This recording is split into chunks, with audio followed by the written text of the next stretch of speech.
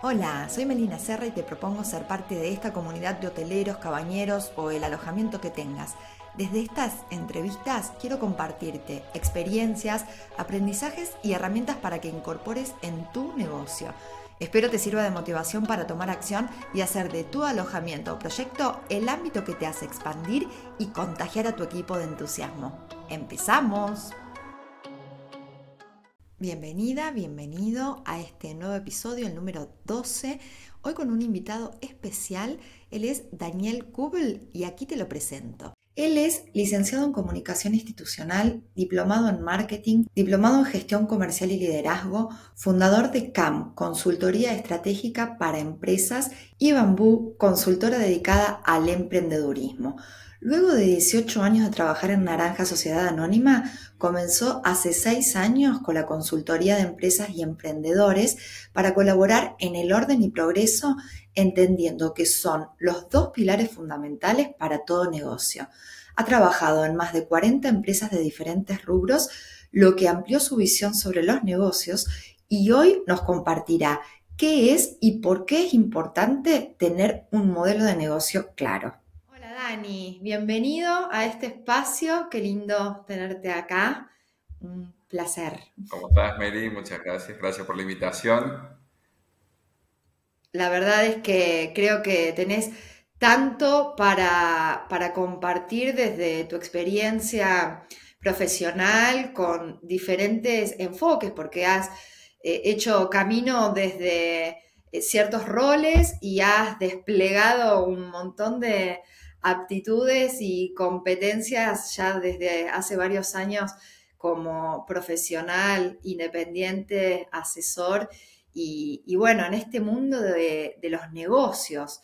Eh, hablándonos de plan de negocios, creo que es algo básico, fundamental, que a mucha gente le interesa, principalmente en este ámbito de los alojamientos en los que, eh, bueno, hay tantas cosas para atender, tantos frentes abiertos y a veces este aspecto en particular por desconocimiento o principalmente por considerar que a lo mejor uno no está al alcance de eso para esos pequeños emprendedores o que hace años que están, están un poco alejados de este instrumento. Así que para empezar un poquito con esto, me gustaría que, que nos expliques qué es un plan de negocios.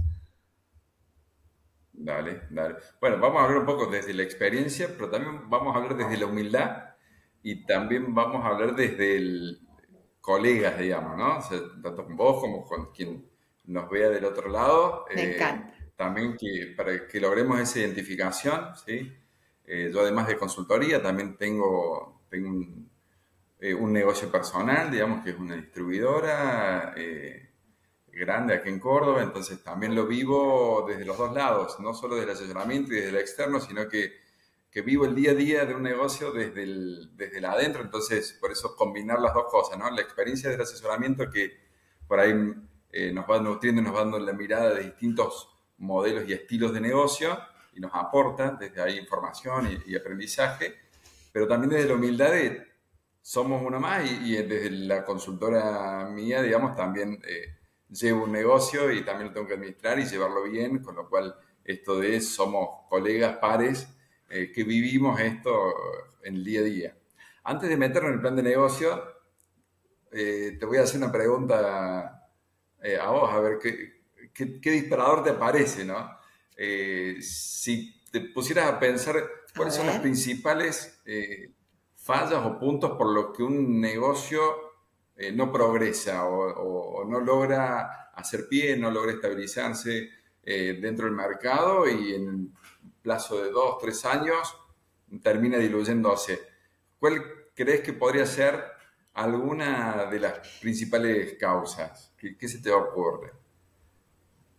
A ver, que, hayas vivido, que hayas vivido algo. Creo que, que, hay varias y también desde, desde la humildad de mi propia experiencia, eh, puedo hablar que la falta de definición en lo que uno tiene para ofrecer a veces se, dispersa en el querer hacer eh, y en el entusiasmo de generar algo nuevo o de llevar adelante algo que viene desde hace muchos años y no definir lo que uno ofrece eh, de forma concreta y tentadora para llegar a un otro que se sienta satisfecho en lo que necesita, busca, disfruta. Creo que parece simple, pero es un gran recorrido.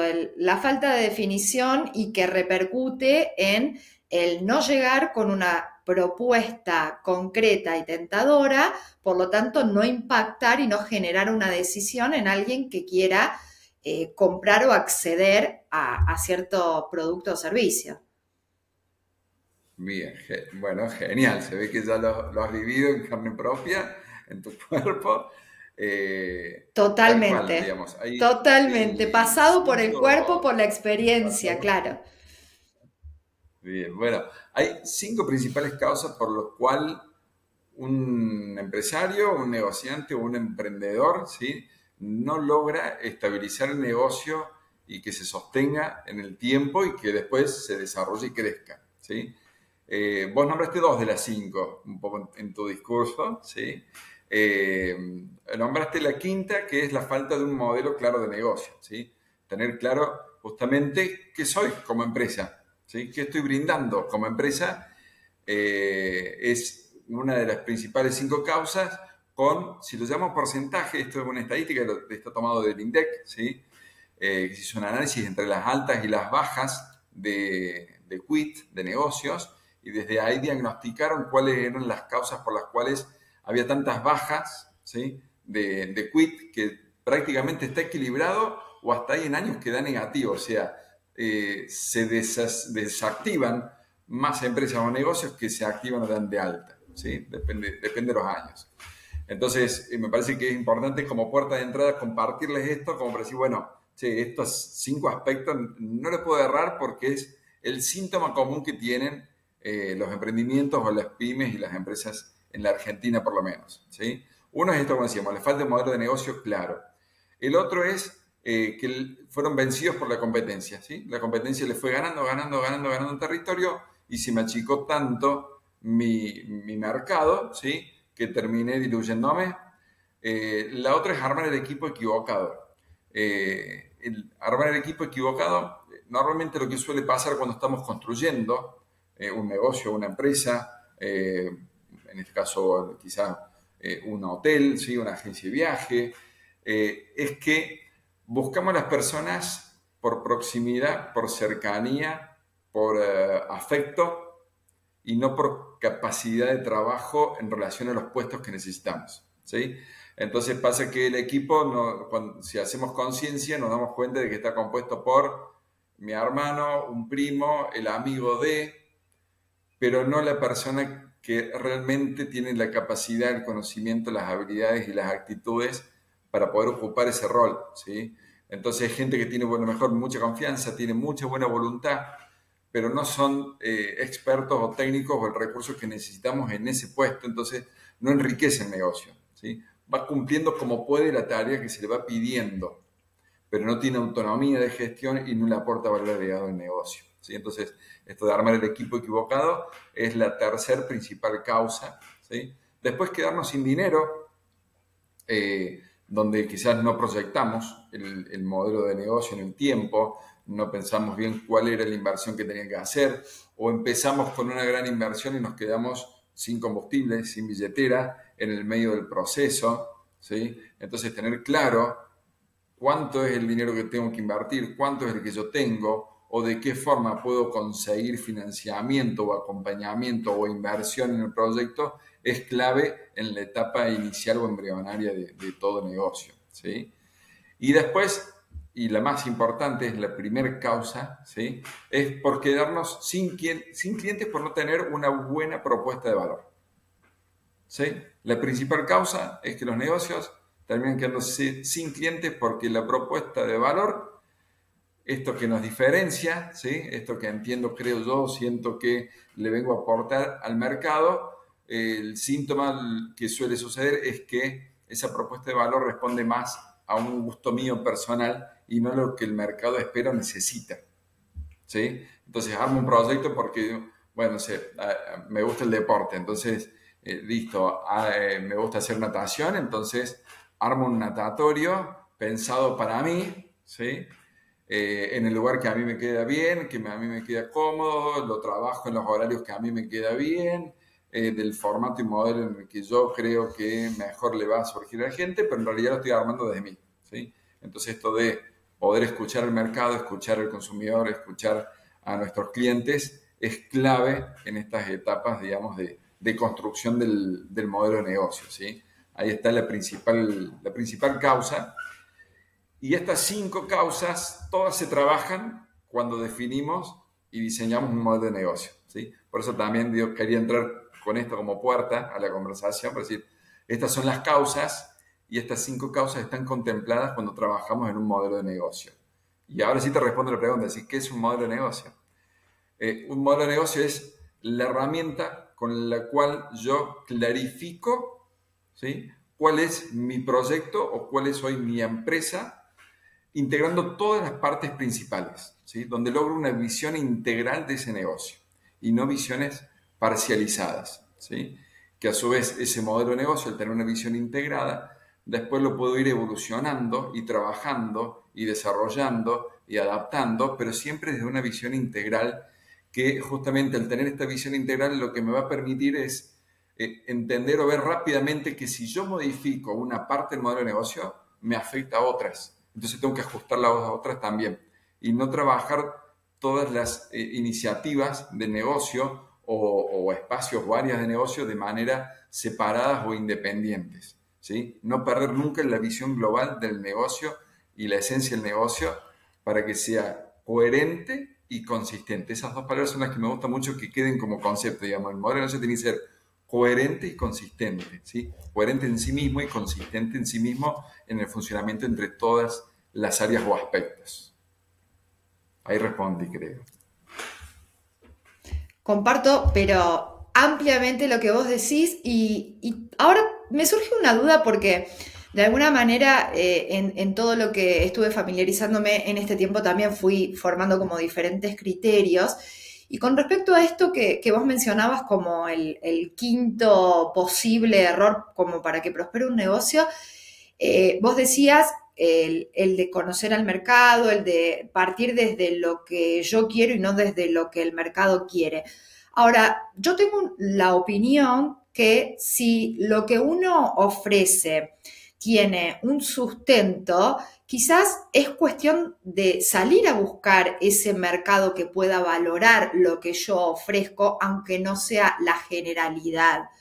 Eh, digo, si, si realmente estoy convencido de que lo que ofrezco es bueno, eh, tiene una coherencia y es acorde a mis principios, quizás eh, es cuestión de, de llegar con una comunicación correcta y al mercado correcto para cautivarlo y lo que se dice ahora, e, este, encontrar el nicho. Eh, a lo que se apunta en, esto, en, trabajar y definir bien la propuesta de valor, es que no me enamore de mi idea y me quede aferrado y agarrado a esa idea original, sino que salga rápidamente a validarlo en el mercado.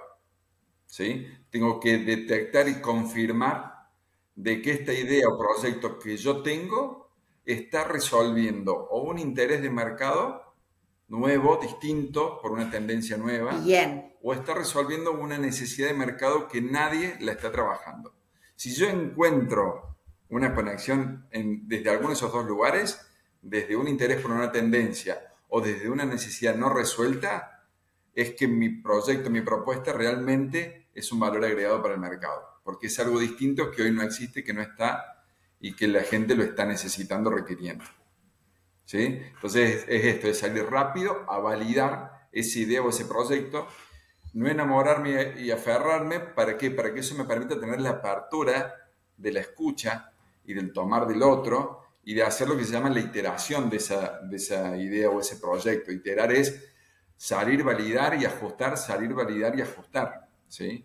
Eh, ejemplo, o, te doy un marco, eh, inversores de, negocios y de, nuevos negocios, eh, hoy están planteándole a las empresas que tengan por lo menos dos años de validación de la propuesta original, que hayan iterado, que hayan probado y trabajado y vuelto a ajustar y trabajado y vuelto a ajustar por lo menos dos años esa idea original. No compran e invierten en una idea eh, de cero porque es una idea fantástica y porque a mí me encantó, sino que, bárbaro, la idea sí es buena, pero te voy a pedir que por lo menos tengas entre uno y dos años de trabajo y de iteración permanente para calibración y ajuste de esa propuesta de valor para saber que realmente responde al mercado y no solamente lo que se llaman los early adopters. Los early adopters son los, los que adoptan rápidamente ¿sí? una nueva tendencia, una nueva idea. ¿sí? Normalmente pasa que cuando arranco con un proyecto, tengo rápidamente cuatro o cinco personas que dicen, uy, qué bueno, uy, sí, recopado, uy, sí, te va a comprar todo el mundo. ¿sí? Bueno, tengo que pasar esa barrera y ver si realmente por detrás de esas personas que se engancharon, se coparon igual que, que yo con esta idea, ¿sí? probarla en el mercado y que se sostenga realmente el mercado y que el mercado me va respondiendo en el tiempo. ¿Sí? Y no quedarme solo con estos early adopters, estos primeros que hayan adoptado igual que yo, porque a lo mejor pensaban parecido a mí y, y sí hicieron caso, digamos, a ese proyecto. Bien, respondido perfectamente lo que te pregunté. Ahora se me ocurre, por ejemplo, para estos nuevos establecimientos eh, que tienen una propuesta muy diferenciada, por ejemplo, un hotel boutique eh, que tiene un segmento de público muy específico como eh, el gusto por la lectura. Entonces, ¿cómo eh, incorporando todo esto que, vos decís sin tener que esperar dos años, eh, digamos, en, la validación, porque sin duda que, que, van teniendo un proceso de que llega la gente correcta, eh, después recomienda, hay un posicionamiento desde ese lugar y una comunicación desde ese lugar. ¿Cómo ves vos desde tu experiencia que se pueda acelerar ese proceso para que comercialmente no caiga? Las estadísticas nos muestran que para todo proyecto nuevo, eh, la energía que requiere para que ese proyecto me empiece a dar para vivir lleva entre uno y dos años. ¿sí? Con lo cual eh, a ver, no quisiera pecar de decir, no, sí, con esto en tres meses ya estás viviendo del negocio y facturando y eh, llega su tiempo los, los, negocios porque llega su tiempo hacerlo conocer, llega su tiempo lograr ese mercado, encontrar ese nicho claramente, encontrar la mejor estrategia.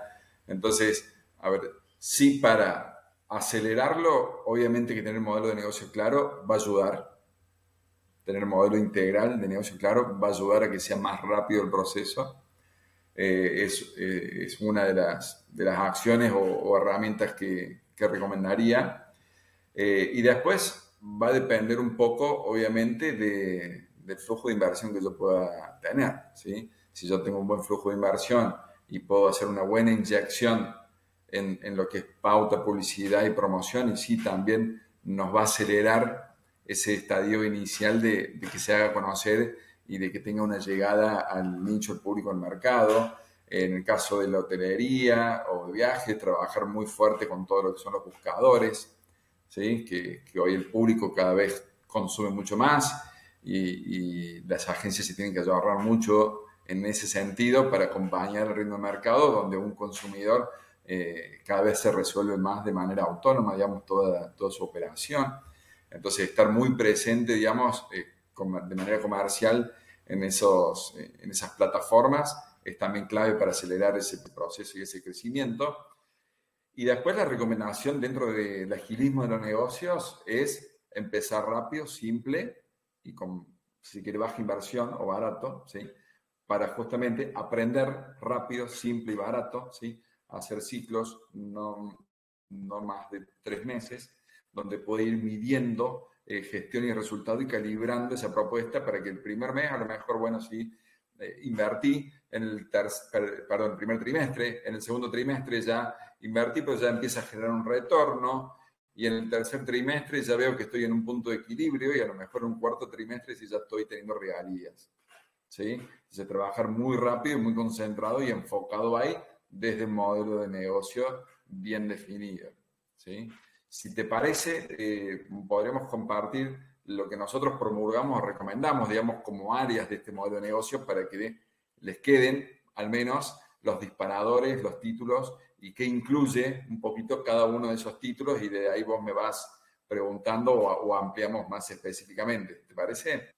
Es exactamente lo que te iba a pedir, que empecemos a hablarle a quien no sabe de qué se trata un plan de negocios, como para que eh, empiece a, bajar a la realidad con, conceptos claros y prácticos. Me encanta, vamos por eso. Dale. Después yo en todo caso te, comparto, digamos, estos 10 pasos como para que, que pueda quedar eh, también a mejor resumido, pero Arranco primero nombrándolos a los 10 como para que quede como una guía. Este, arranco compartiéndolos a los 10 y de ahí eh, caminamos un poco sobre cada uno. ¿sí? Eh, el primero de los 10 pasos es definir lo que es el visioning o el visionar el proyecto o el negocio. Tener bien claro la visión de cuál es mi negocio, qué es mi negocio y cómo quiero que sea mi negocio. Después de eso, la propuesta de valor, lo que hablamos hace un rato.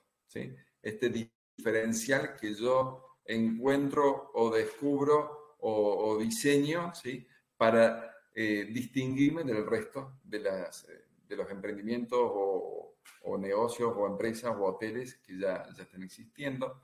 Después la identificación de los clientes, clarificar el mercado mío, eh, cuáles son las actividades para mantener o sostener esa cartera de clientes, los canales de comunicación y de comercialización, las actividades claves del negocio, los recursos claves, las relaciones estratégicas que tenemos que tener y después lo que tiene que ver con el flujo de ingresos y egresos. ¿sí? Esos son los 10 pasos que recomendamos siempre tenerlos bien claros de manera inicial y sobre eso ir trabajando e iterando en, una especie de prueba-error permanente, ¿sí?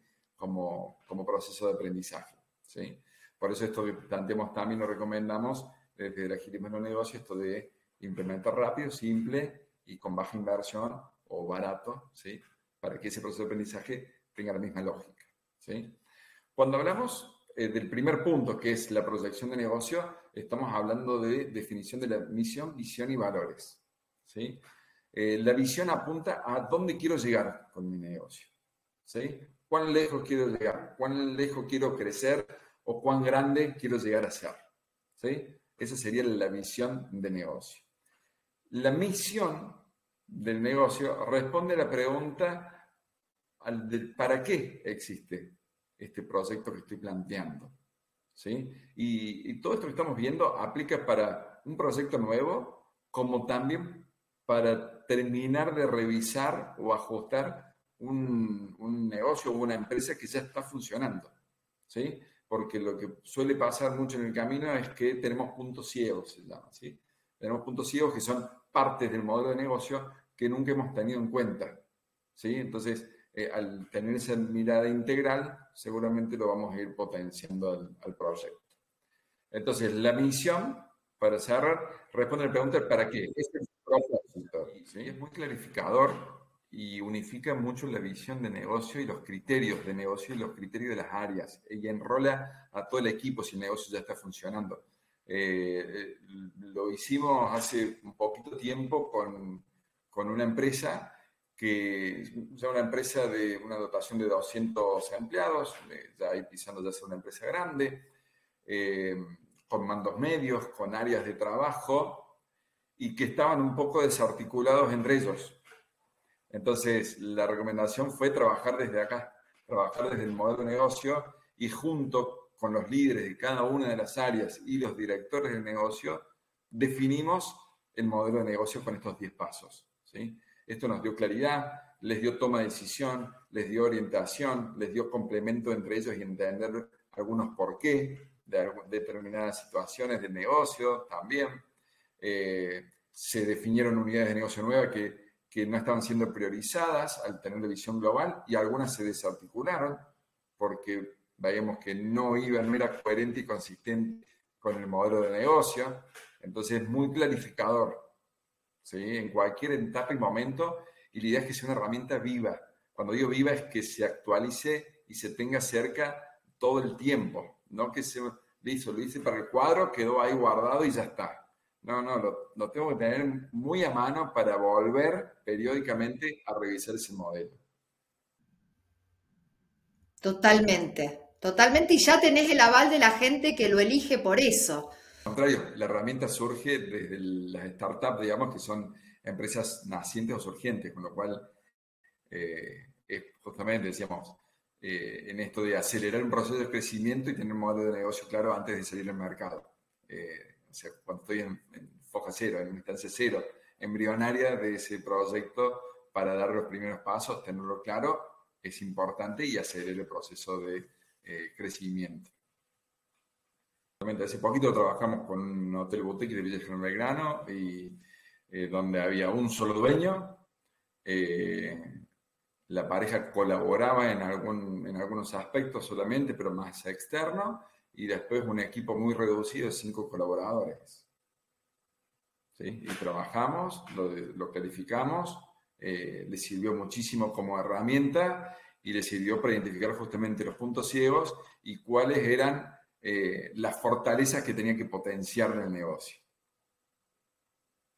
Bueno, para cerrar el primero de los pasos, entonces decíamos visión, misión y el tercer aspecto, los valores. ¿sí?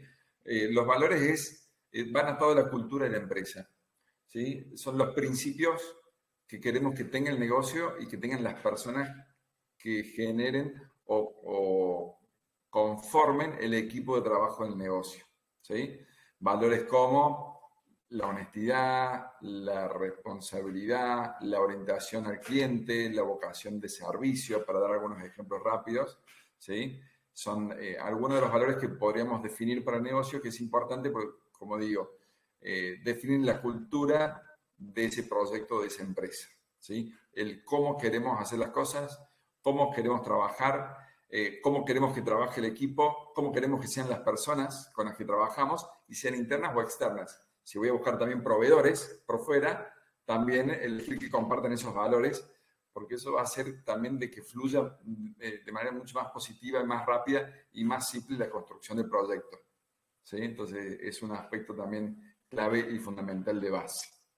¿sí?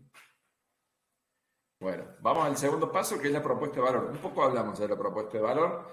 Eh, como complemento, que sí me parece importante clarificar, habíamos dicho en principio de o cubrir un interés nuevo por una nueva tendencia o resolver una necesidad ¿sí? que nadie le está cubriendo. Eh, serían los dos pilares por los cuales yo podría identificar esa propuesta de valor. ¿sí?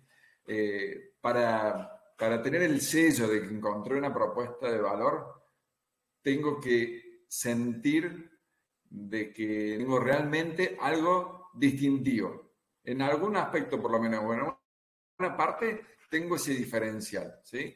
Seguramente en lo que es hotelería o servicios eh, de, turismo, así bueno, hay, hay una media que ya está cubierta, o sea, eh, las plataformas de reserva, las formas de pago, el tema de las habitaciones, si el desayuno, si incluye desayuno no incluye desayuno, bueno, hay toda una base, ¿sí? De, que ya es el servicio que está aceptado, unificado y bastante estandarizado, ¿sí? Eso es lo que tengo que dar de base sí o sí. Bueno, a eso tengo que poner un esfuerzo de encontrar qué le doy de diferencial ¿sí? al mercado que nadie se lo está dando o se lo está dando de la manera que yo lo estoy proponiendo. ¿sí? Eso es lo que tengo que sentir cuando defino una propuesta de valor y salir justamente después rápidamente al mercado y preguntar, ¿te parece, cómo ves o cómo recibirías si yo en esta propuesta te incluyo tal o cual forma? ¿Sí? Eh, ejemplo, así surgieron los modelos low cost, eh, donde se probó con la gente de manera rápida, decir, bueno, a ver, pagar la tarifa de base y después de ahí, sumale. Nació obviamente más del lado de las aerolíneas, pero también hubieron varios hoteles que trabajaron ese mismo modelo y decir, bueno, te doy la habitación sola, ¿querés con desayuno? De suma esto. ¿Querés cochera techada? Se agrega esto. ¿Querés spa? Se agrega esto otro. ¿sí? Entonces, el cliente va eligiendo y armando en base a sus intereses y prioridades cuáles son los servicios y paga solo los servicios que va a usar. Un comentario, un comentario con respecto a eso que vos de alguna manera describís que eh, eh, buscar o agregar algo que nos diferencie. Yo, de acuerdo a mi experiencia, identifico que hay un montón que ya tienen un diferenciador eh, avalado porque la gente lo elige a partir de eso, pero que no está identificado como, como un producto y puesto en valor. O sea que en la mayoría de los casos de establecimientos que tienen muchos años funcionando, estos diferenciadores ya existen, pero no están destacados y comunicados como para que se valore como un real diferencial. Sí, genial. Y por eso decía hace un rato, digamos, el modelo de negocio sirve para los que ya están funcionando, es muy clarificador de encontrar y saber, bueno, cuál es nuestro estilo y formato de negocio que tenemos y dónde están las potencialidades, como decía recién este caso de, este hotel que trabajamos, donde encontramos sus potencialidades y dijimos, bueno, acá es donde tenemos que explotar comunicacionalmente, porque de solo comunicarlo, cuando encontramos realmente una verdadera propuesta de valor, se vende sola. Esa es la diferencia también. Y eso es lo que vamos a sentir y, ver y, confirmar. De que cuando hay una propuesta de valor fuerte, con nombrarlo, solo con comunicarlo, se vende solo. ¿sí? No hay que hacer esfuerzos. Si, yo, si a mí me cuesta lograr los cierres de venta, me logras, bueno, eh, es porque no tengo fuerte o bien claro una propuesta real de valor hacia el mercado que yo estoy apuntando con el que estoy trabajando. ¿Sí?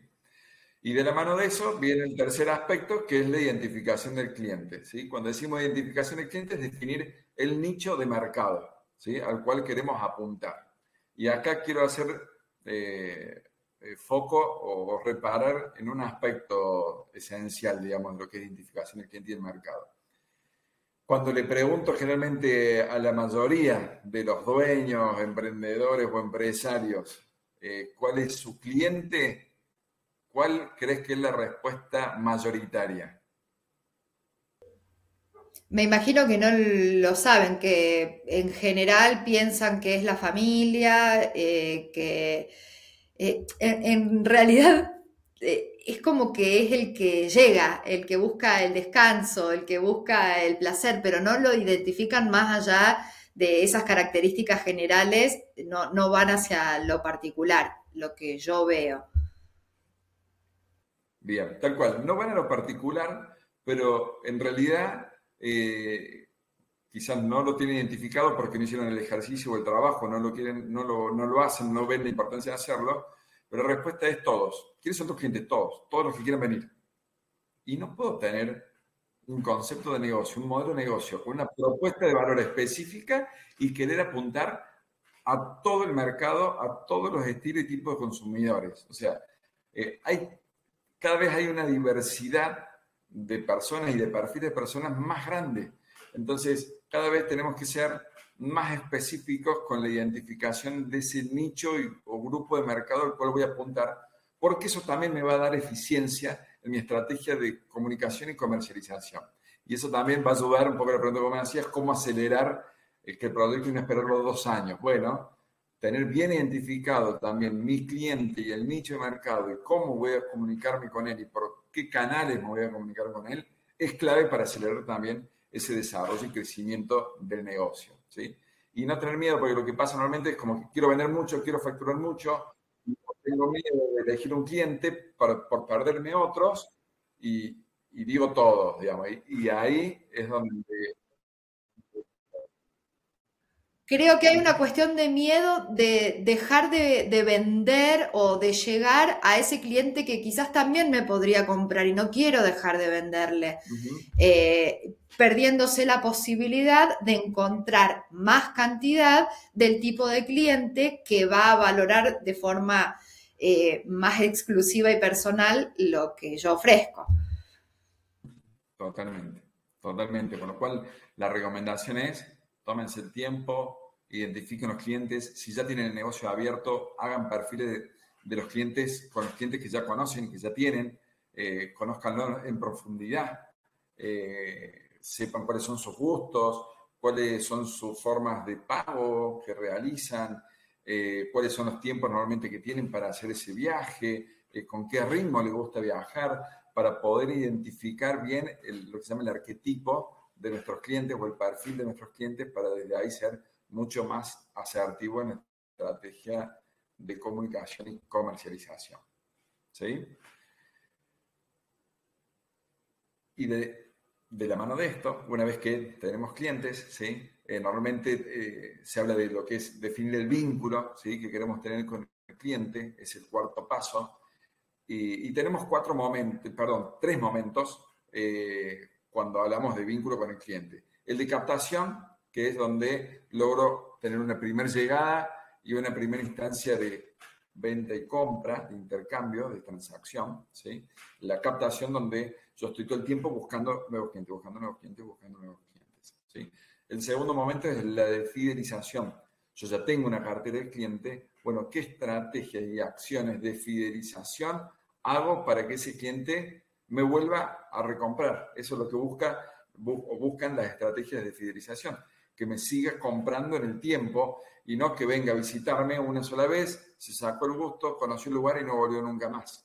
¿sí? Sino cómo lo hago sentir durante y después de la estadía para que sienta que es parte de este proyecto o este emprendimiento ¿sí? o de este negocio y que quiera volver o que encuentra aspectos ¿sí? que lo hacen sentir también que le van a dar ganas de volver una, dos o tres veces o cuatro veces al año. ¿sí? Entonces viene captación, fidelización y por último la multiplicación. La multiplicación es donde yo ya logré una fidelización tal con mis clientes, con una muy fuerte propuesta de valor y con una muy buena atención y orientación de servicio, y logré que esos clientes me ayuden a multiplicar el conocimiento o la comunicación sobre mi proyecto. ¿sí? Puedo descansar solamente en la vieja y tradicional boca en boca, ¿sí? O puedo estimular también a estos clientes, ¿sí? Que ya tengo fidelizado con acciones puntuales, donde yo estimulo a que eh, me ayuden a multiplicar el conocimiento o la llegada de mi, de mi emprendimiento, ¿sí? Entonces son esos tres momentos en los que generalmente se debe trabajar en lo que es el vínculo con el cliente, ¿sí? Bien, te decía que la, tercera instancia de, la multiplicación suele ser por lo general a partir de planes de referidos, lo que conoce la mayoría de la gente, que es si eh, recomendás a otro cliente, tenés un beneficio. Y en este punto creo que el de la fidelización eh, te sumaría eh, algo que, que si bien ya mucha gente lo sabe, hay mucha otra cantidad que no, y que es el costo de adquisición de, un cliente, a veces eh, es muy alto en relación a lo que sería la fidelización de uno que ya está cautivo. Entonces, por conciencia de, eso, eh, podría hacer que se trabaje más sobre esta cuestión de la fidelización. Eh, que es un cliente que ya te conoce, que ya te eligió, que ya te valoró y, sin dudas que una acción que vuelva te genera mucho, eh, mm, es mucho menos costosa que captar un nuevo cliente, ¿no? Totalmente, totalmente, y, complemento en, esto que estás comentando, eh, también dentro de lo que es el vínculo con el cliente, y específicamente en lo que es el turismo, eh, hablamos mucho de la experiencia del huésped, ¿sí? O la experiencia del, cliente, se habla en las empresas en general, en el caso de nuestro turismo, hablamos de la experiencia del huésped.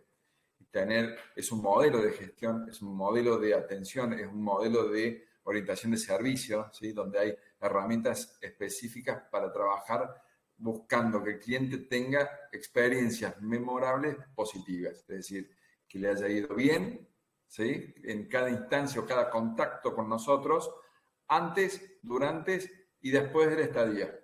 Eso es lo que va a generar una recordación positiva y seguramente nos prescriba frente a otras personas. Es el cuidado del cliente desde la orientación y la vocación del servicio. ¿Sí? Por esto de eh, cuidando el cliente y fidelizando al cliente, ¿sí? son los dos aspectos Decime, Tenemos un poco de delay, por eso nos pisamos un poquito. Eh, no, esto de, que se, habla mucho de la experiencia del cliente, sin dudas que en, esta actividad en particular, cuando uno eh, sale a visitar los lugares, de una experiencia eh, y generar, aportar a esa experiencia desde el lugar donde va a pasar sus horas de descanso, va quizás a, tomar un desayuno, a, lo más desde el punto de vista de la emoción, que bueno, como ya hemos hablado en episodios anteriores, es lo que más se recuerda después y lo que mejor se transmite que es lo que uno vive y que más allá de, la memoria de lo que se haya visto, lo vivido y lo sentido, eh, otro, otro nivel de recordación, ¿no? Y sin dudas luego quiere repetir, quiere compartir con personas eh, que uno estima y eso es eh, lo que fortalece la imagen del lugar como quien propicia esa buena experiencia. Totalmente. Eh, Totalmente, y en, este modelo de experiencia del huésped, eh, si les recomendara rápidamente una herramienta, se llama el viaje del cliente, donde yo voy haciendo como un paso a paso del, vínculo con el cliente. Antes de que haga la compra, cuando hace la compra, cuando, antes que llegue al hotel, cuando está alojado y después que se fue también. ¿sí? Y ahí hacer un cierre ese viaje del cliente nos va a dar mucha claridad en qué momentos, cómo estamos, primero diagnosticarnos cómo estamos en cada uno de esos momentos y pasos, cómo estamos respecto al mercado y a la competencia, y cómo estamos en, relación a la experiencia que le vamos generando a ese huésped, y lo que se persigue es que por lo menos tengamos de dos a tres momentos en todo ese ciclo donde el cliente diga wow, ¿sí? Se llama momento o efecto wow, en otro modo de experiencia cliente, ¿sí? Donde sí tenemos ahí un, choque, un impacto con un detalle que tuvimos que fue wow, ¿sí? Eh, a ver, en un hotel trabajamos esto y, trabajamos muchísimo toda la parte previa a llegar al hotel, ¿sí? Antes teníamos muchos viajeros que eran todos por tierra, entonces eh, íbamos haciendo un acompañamiento, seguimiento en ese viaje y en base a cómo le había ido en el viaje era la recepción que tenía, ¿sí? Si lo esperaban con, con unos masajes en el spa, o si lo esperaban ya con un aperitivo, una cerveza, eh, una infusión o una picada, porque venía ya con ganas de eso y llegaba temprano y era tardecito y todavía estaba lindo el día. Entonces, desde ese seguimiento de acompañamiento en el viaje, se le hacía una recepción personalizada. Y eso generaba justamente este efecto wow, decir, no soy una venta, soy una persona y me están me están tomando y tratando como una persona con un trato totalmente ajustado y personalizado a mí. Digamos que el viaje del cliente sería literal, ¿no? Porque eh, el viaje del cliente en el negocio, digamos, se consideraría la, las instancias por las que va pasando, pero hablando de, de, en este sector en particular, estamos hablando literalmente del viaje del cliente. Totalmente, totalmente, es así es así. Bueno, resuelto esto y teniendo estos cuatro primeros aspectos, son los que nos van a dar la claridad de cuál es la estrategia de comunicación y comercialización que yo quiero realizar. ¿sí? Cuando decimos comunicación es eh, por qué medios voy a llegar con mi propuesta de valor, con mi proyecto, con mi hotel, con mi empresa, ¿sí? a este cliente. Por eso que decía, se viene de la mano y son dos pasos, son consecuentes porque tienen esa lógica para que tenga la coherencia y consistencia. ¿sí?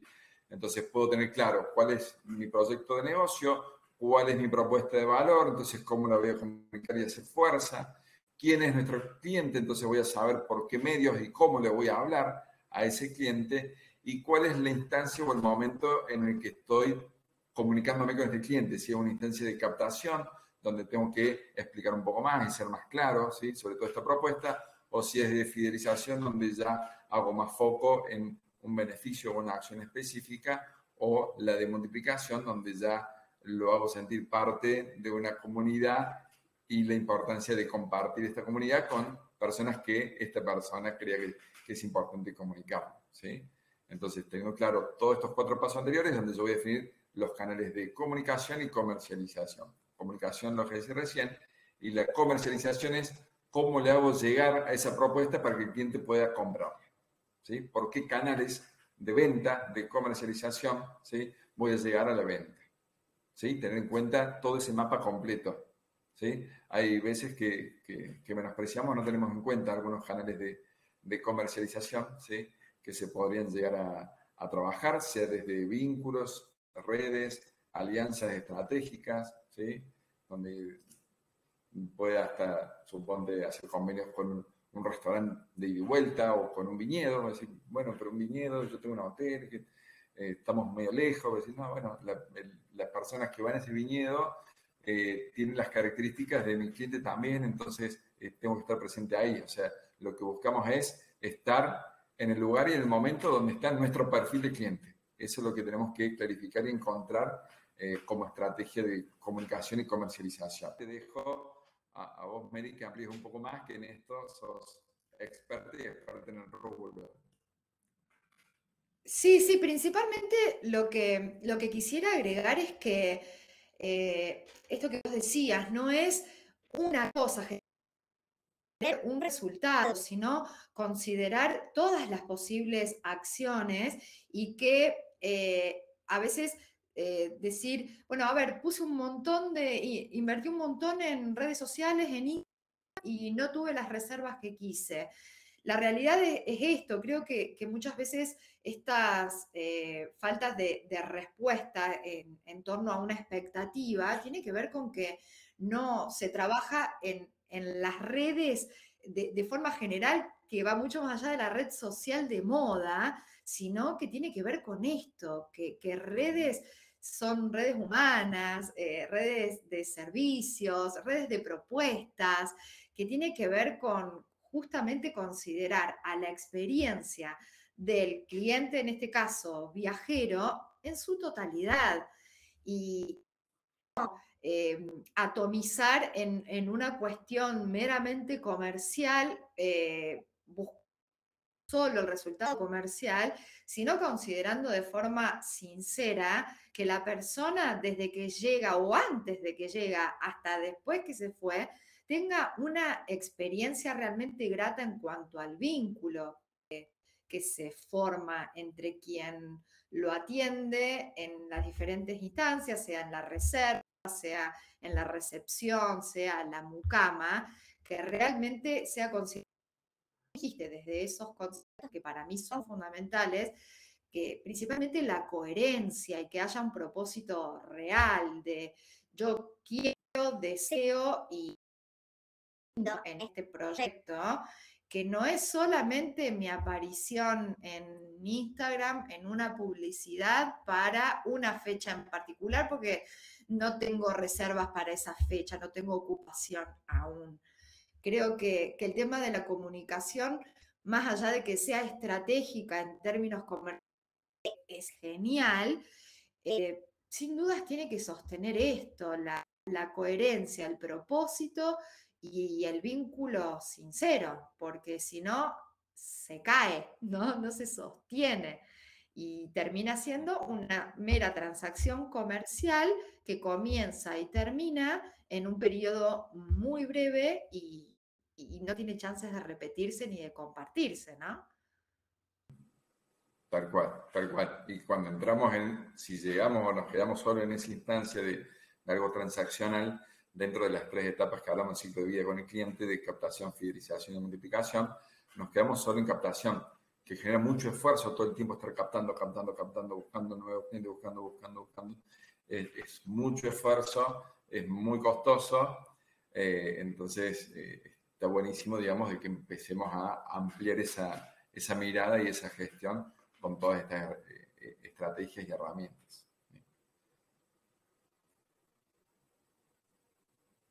Bueno, eh, hasta acá vamos estuvimos los primeros cinco pasos del modelo de negocio. ¿sí? lo que es la visión o, el foco estratégico, la propuesta de valor, la identificación del cliente o mercado, eh, lo que es el vínculo con el cliente y los canales de comunicación y comercialización. A mi modo de ver, eh, son los más importantes dentro del modelo de negocio, estos primeros cinco.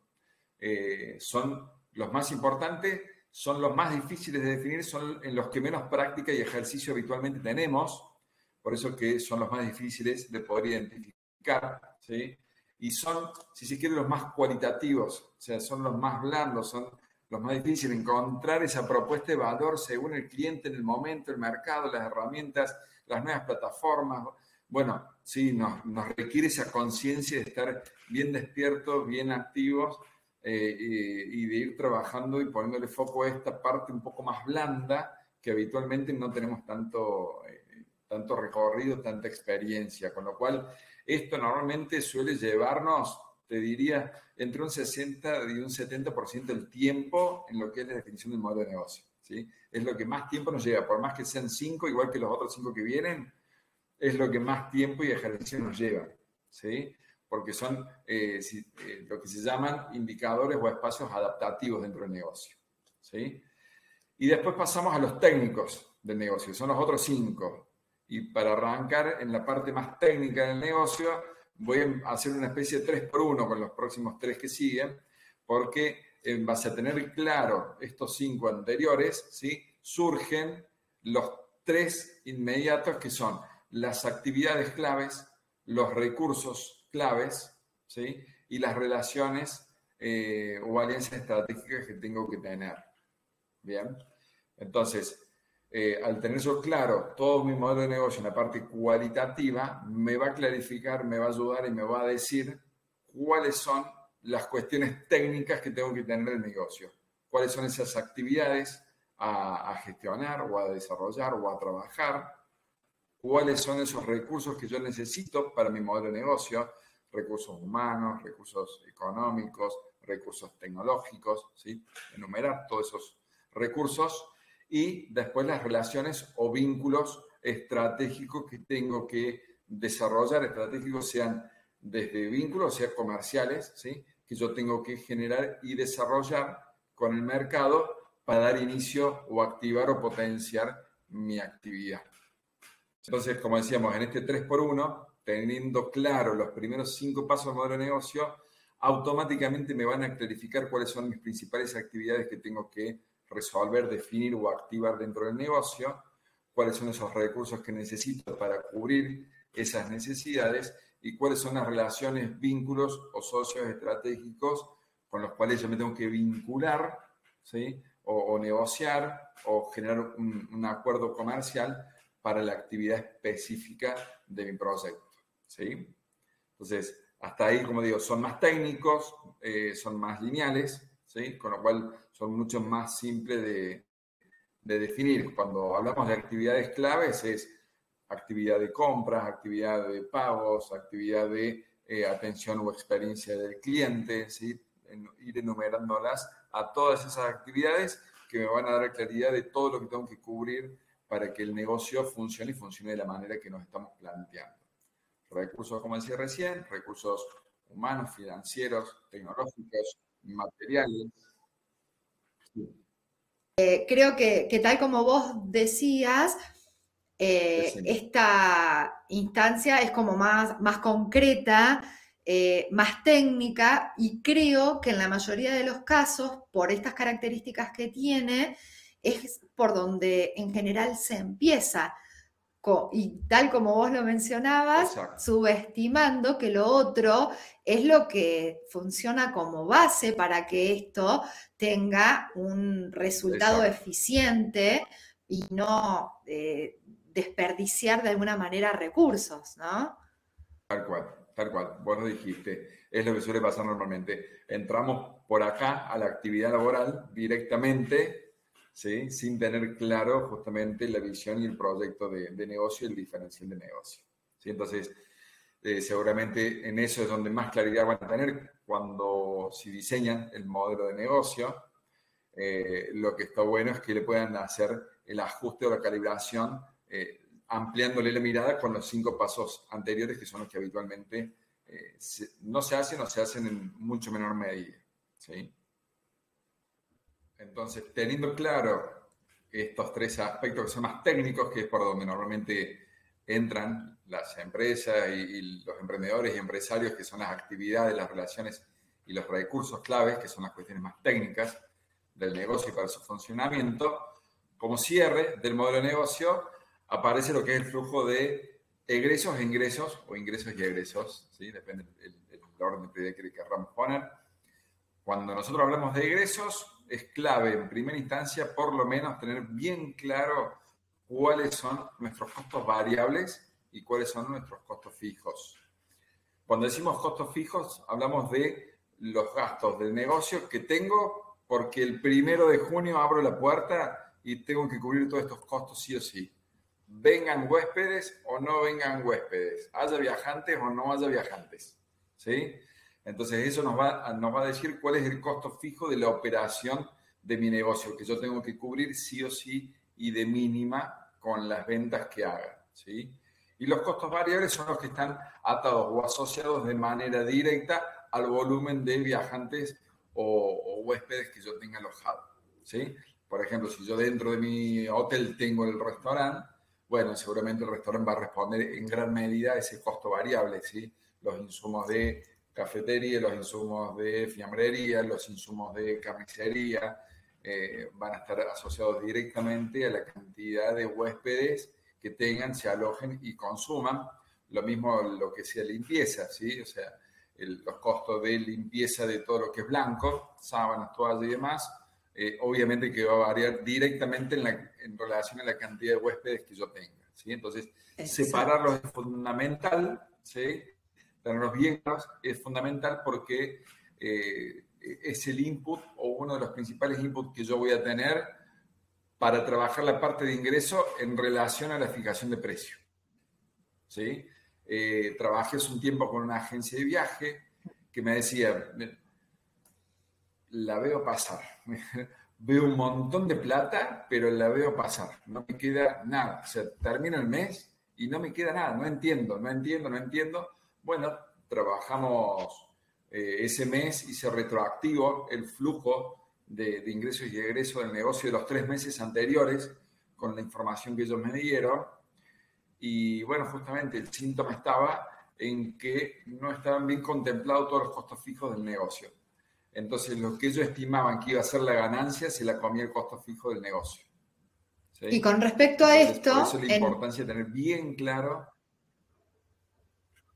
Sí, y, con respecto al, tema de los alojamientos, el, punto más conflictivo justamente es cuando es muy marcada la estacionalidad, que es en la mayoría de los alojamientos, que, esos costos fijos suelen ser muy altos, porque tiene que ver con una estructura que hay que sostener, que, tiene que tener mantenimiento y, que sin dudas al proyectar una un aplanamiento, digamos, en esa curva de estacionalidad, que, haya una ocupación un poco más constante a lo largo de las diferentes instancias del año, eh, sin dudas hace que, esos costos fijos se amorticen mucho más, ¿no? Sí, y, que sea complejo una buena administración y no chocar el negocio eh, desde ahí, esto por ejemplo que vos planteas, Meli, pues eh, la recomendación que damos siempre es tener eh, una visión anual del negocio, ¿sí? Claro. Para tener en cuenta justamente la estacionalidad, tener en cuenta las vacaciones, tener en cuenta los feriados de fin de semana largo, qué precio voy a tener en temporada baja, qué precio voy a tener en temporada alta, cuál es el mínimo de ocupación que yo tengo que tener para cubrir mis costos y cómo cubro, puedo espaldear esa temporada baja si hiciera falta en algún mes con la temporada alta también y no gastarme o usar toda la, temporada alta en reinversión del negocio o después en vacaciones propias o en compra de otro vehículo y después durante el año quedarme sin fondeo para cubrir esos meses eh, críticos o bajos. ¿sí? Entonces, vuelve a aparecer Creo que aquí... uno de los síntomas que decíamos que era esto de quedarnos sin dinero. ¿sí? Creo que aquí también es fundamental el, eh, que, lo veo también reflejado en un montón de casos, en que en lugar de pensar estrategias para lograr una ocupación fuera de lo que es temporada alta, se suben los precios para paliar esta diferencia y entonces quedan fuera de, no son competentes, quedan fuera de mercado por las tarifas. Eh, entonces también es una cuestión que hay que analizar y planificar a conciencia, porque no es cuestión de eh, recargar en una etapa lo que no estoy haciendo para generar ocupación en otra. Totalmente, totalmente. Eh, de mínima deberíamos proyectar o ser positivos y optimistas desde el plan de negocio, el plan de comercialización, de que la temporada baja, baja, por lo menos cubramos los costos con los alojamientos que generemos en la temporada baja. Sí, ese es el, claro, yo diría que más que optimista. Bien, yo creo que más que positivos u optimistas hay que ser proactivos, planificar a conciencia una estrategia que haga a que la gente venga y darle los beneficios acordes a, lo que eso implica tener que salir fuera de la temporada, que sería más cómodo quizás. Eh, pero bueno, ahí, ahí, está también la cuestión estratégica de, pensarlo desde un lugar eh, más eh, abierto, más flexible y rompiendo con un poco estos, estas ideas, estos estereotipos de yo trabajo en fin de semana largo, julio, eh, Semana Santa y, vacaciones de verano. Sin dudas que hoy eh, todo tiende a que haya ocupación en las diferentes instancias del año, pero no va a ser mágico. Hay que ser proactivo en, general, ¿no? Totalmente. Totalmente, sí, lo, planteaba desde ahí, esto de ser positivo, de, de, proyectarnos positivamente que lo podemos lograr y ver qué hacemos para lograr eso. Totalmente. Y ahí vuelven a aparecer pasos anteriores del modelo de negocio la propuesta de valor, si tengo una propuesta de valor interesante y rica durante todo el año. Eh, a ver, en esto, si dijéramos, eh, a ver, Villa General Belgrano es una localidad que, trabaja con una planificación realmente muy activa durante todo el año, con todos los eventos y las fiestas que tienen después específicas durante el año, hacen que tengan muchas noches de temporada alta durante todo el año.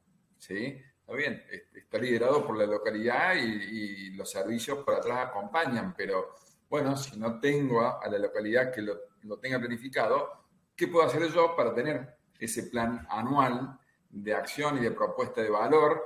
Y eh, puedo jugar con lo que es promociones de captación o puedo jugar con acciones de fidelización también. Por eso digo, vuelven a aparecer todas las instancias anteriores del modelo de negocio para potenciar nuestra gestión comercial y lograr eh, esos objetivos de noches o ocupaciones o de ventas.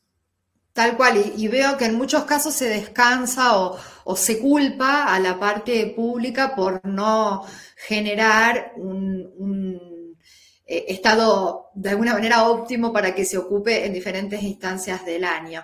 Pero justamente contás vos el caso de Villa General Belgrano, que es una gran representación de lo que fue el trabajo conjunto entre el sector público y el sector privado, en el que el sector privado no se quedó cruzado de brazos esperando que le vengan a resolver. Ahí hubo mucha proactividad del sector privado que propuso y de alguna manera traccionaron juntos hacia un objetivo común y creo que ahí también es, fundamental la cuestión del, del resultado. Claro que si no estás en ese contexto, buscar estas estrategias de, propuestas de valor y, de, comunicación particulares para atraer, aunque sea a mi lugarcito, pero también como decís vos, por ahí si no hay un sostén desde los servicios y de, desde los atractivos en general, es mucho más difícil. Hay que remarla solito ahí.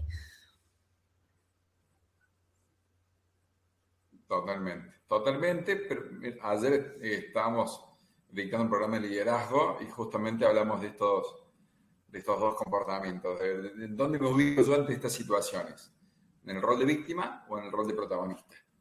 ¿Sí? Claro. como víctima, la responsabilidad y la culpa está en el otro, yo no soy un actor a encontrar soluciones, ¿sí? Por ende, la situación va a estar y la voy a vivir y va a pasar y no va a cambiar.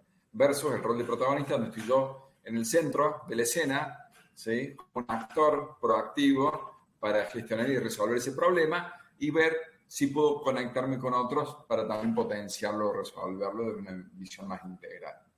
¿sí? Con lo cual, eh, obviamente que la, la, recomendación es que vayamos siempre al rol de protagonistas ¿sí? de nuestro negocio. Y si no, hay que resignarse a lo que toca, a lo que toca si, si uno piensa que es cuestión de suerte y nada más. Tal cual, tal cual. Así que bueno, con eso cerramos la parte de ingresos, que es esto justamente, ¿no? Cómo trabajar en el volumen de venta, la cantidad de ventas, una buena definición de precios en base a los costos fijos y variables, más ver el mercado, ¿sí? Las recomendaciones ver eso, ver para adentro del negocio, costos fijos y variables, y ver cuánto está cobrando el mercado también, en base a eso, eh, en qué nicho me ubico yo para desde ahí terminar de definir bien el precio, y las estrategias de cobranza, formas de cobro o herramientas de cobro para ver que también eso acompañe a esa fijación de precios, porque depende de la plataforma que tenga de cobro, se sea una plataforma virtual, sea tarjetas de crédito, de débito o efectivo, cada uno tiene su lógica particular y sus aranceles especiales que también son muy importantes tenerlos en cuenta para después ver realmente cuál es el margen que nos deja este proyecto o este negocio. Por lo cual, ahí cerramos los 10 pasos que nosotros recomendamos para definir este modelo de negocio. Bueno, completísimo, porque la realidad es que, abarca todos los aspectos y que eh, para considerar en una sola persona o en un proyecto muy chiquito puede parecer un montón, pero sin dudas que el ir ocupándose con foco en cada una de, las etapas eh, va a dar una guía y y esa manera más certera de, avanzar hacia un proyecto que con el tiempo vaya siendo mucho más sólido, ¿no? Totalmente. Las dos palabras como cierre que vamos a compartir, esto que sea coherente y consistente, ese proyecto seguramente va, a tener grandes chances de éxito. Bien, bueno. Eh, es como que dejas un montón de, cuestiones como para trabajar, mucha, mucha actividad práctica y apertura hacia nuevas oportunidades, ¿no? Si bien tenemos esto de, ah, bien, esto va a requerir tiempo, va a requerir, a requerir energía, eh, es algo que, bueno, a partir también de, unos cursos que estoy lanzando como para ir definiendo estos puntos particularmente, es que decimos, bueno, esto es tiempo, es energía, pero ¿cuál va a ser el resultado, no? Eh, vamos hacia un mundo de oportunidades que se abren y quizás a, estas posibilidades de dejar de hacer todo para enfocar en lo que yo soy mejor y eh, quizás delegar, contratar y poder dejar en manos de otras personas que pueden suplir por menos eh, recursos de lo que a mí me implica todo eso que a mí no me gusta hacer o no me sale tan bien, ¿no? Totalmente, totalmente, así es. Aquí dejaremos en las descripciones eh, el enlace a tus redes, cómo pueden encontrarte y verte, escucharte en todo lo que, lo que tenés para aportar. Y bueno, gracias, gracias por, estar acá, por dedicar tu tiempo, por dedicar tanta experiencia y, todo eso que sabes que lo transmitís de forma tan linda, tan amena. Bueno, gracias. Gracias a vos por el espacio eh, la confianza y bueno, ojalá que aportemos ese granito de arena para que, los proyectos sigan creciendo o sigan naciendo o sigan mejorando para que haya una comunidad mejor. Bueno, ojalá que así sea. Ese es el objetivo, que entre todos podamos ayudarnos para, para que los negocios prosperen y que cada una de las personas prospere dentro del negocio. Gracias, Dani. Y bueno, será hasta la próxima. Te mando un beso grande. Chao, chao. Y así finalizamos la entrevista con Dani, Daniel Kubel. En esta ocasión he decidido ponerla completa, si bien es larga y estoy bastante en contra de los episodios largos, es un material que está buenísimo poder escucharlo, acceder de una sola vez, tomar lápiz, papel y en definitiva si no tenés tiempo para hacerlo de una sola vez lo dejas ahí y después lo continúas, pero me parece valiosísimo que pueda estar todo en un solo episodio porque es mucha información como para realmente tomar nota. Y bueno, a propósito de todo lo que se ha dicho, te comento que con respecto a este tema, en la descripción tenés el enlace a un curso que he desarrollado teniendo en cuenta específicamente todos estos elementos aplicado particularmente a este sector. Está bien delimitado por temas como para que puedas arribar a una conclusión, diagnóstico y llegar a un plan de acción que te lleve a ese lugar a donde querés estar. Fíjate en las descripciones, espero que si todavía no me seguís lo hagas, si te gustó pone me gusta, que comentes, que interactuemos y que si te gustó lo compartas también con colegas que consideres pueda servirle. Muchísimas gracias por llegar hasta el final. Chau, chau.